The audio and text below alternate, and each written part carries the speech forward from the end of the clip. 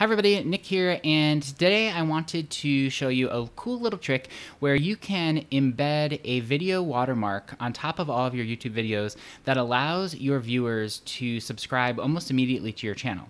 So any YouTuber uh, will tell you that making it easy to subscribe is so important for your channel's growth and to allow more views and things like that. And one of the ways we do that is by adding a watermark to your videos. And I've seen this on a lot of YouTubers' uh, videos here. This is one of my videos that I just posted on how to make rounded corners in your bar chart. But you can see right down here as I hover over here, this little sub here, this little sub here watermark, it's a tiny little graphical icon. It's not that obvious uh, initially, but when you hover over it, uh, you can click subscribe immediately. So it makes it really easy for your readers or for your uh, viewers to subscribe to your channel. And so I wanted to figure out how uh, we could make this um, uh, how we could put it into our channel. So I wanted to show you that. And then I want to show you how I made that little graphic. It's super easy, of course, right inside of PowerPoint. So what we're going to do first is I'm going to go over to my channel and when your YouTube channel looks like this, you can either customize your channel or manage videos. And we're going to click on Customize Channel.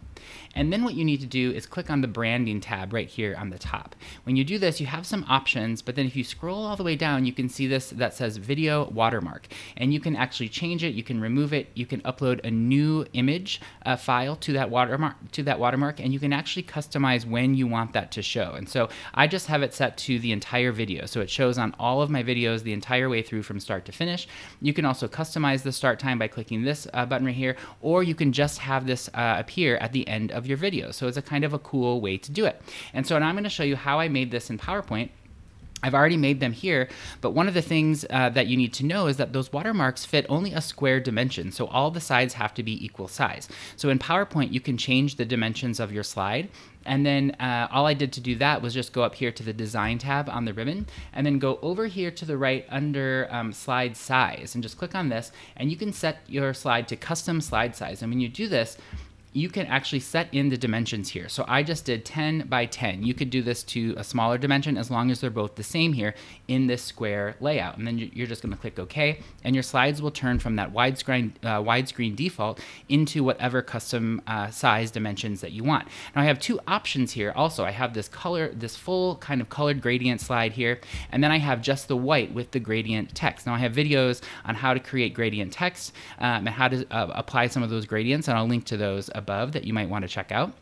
But all you have to do once you've created your graphic here in, on a PowerPoint slide is you just export these slides to an image file. So all you need to do in order to do that, I'm going to upload, I'm going to do this in two separate ways. I'm actually going to, um, well, actually what I'm going to do is I'm just going to highlight both of them. So push shift and highlight both of them. And then all you need to do is save these out as images. So each of the sl individual slides will save as an individual image file. You can do that in JP, uh, in a JPEG like you normally would, or maybe a PNG.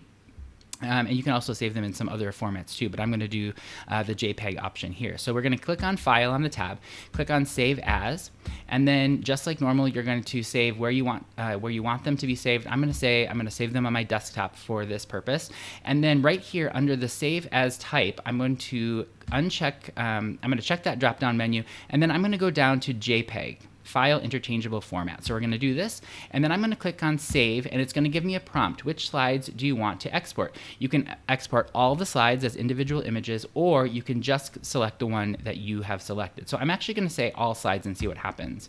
And then we're just going to say, okay, it says each of the files has been saved.